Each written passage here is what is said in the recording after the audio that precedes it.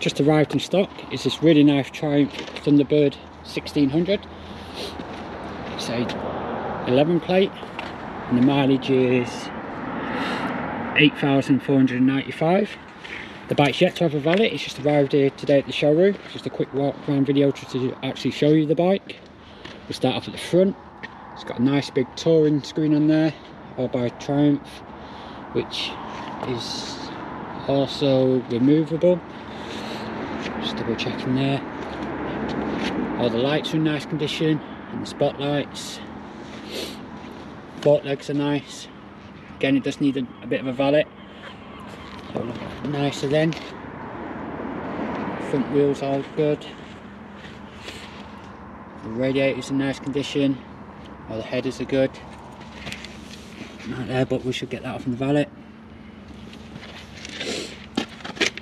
All the engine bays are in nice condition. Now the chrome's good.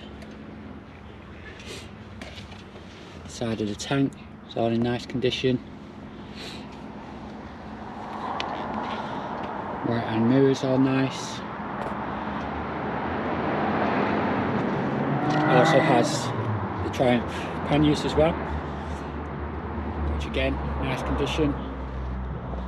Also got the, uh, the backrest and the luggage rack to the rear. And the rear tyres nice. Wheels in good condition. Again, panniers this side are all good. Everything this side's in nice condition.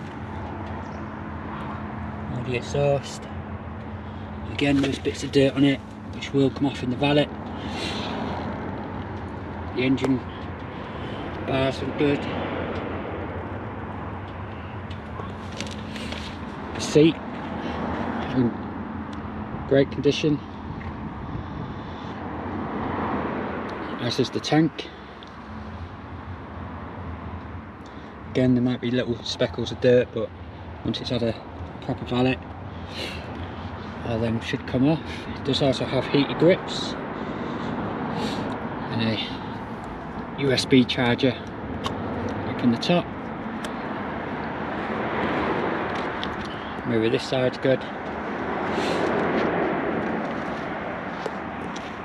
Once the bike's had a full valet, it'll be available to view in our showroom at Ryder Motorcycles Castle Road, Sittingbourne.